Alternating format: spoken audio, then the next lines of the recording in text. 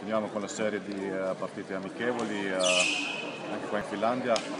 La prima non mi ha soddisfatto specialmente dal punto di vista agonistico, uh, in difesa siamo stati troppo teneri, nonostante tutto siamo rimasti in partita per molto tempo e abbiamo, siamo riusciti a, a raggiungerli a 15 minuti alla fine, poi di nuovo abbiamo fatto degli errori che non dovevamo commettere. Eh, speriamo domani di fare meglio.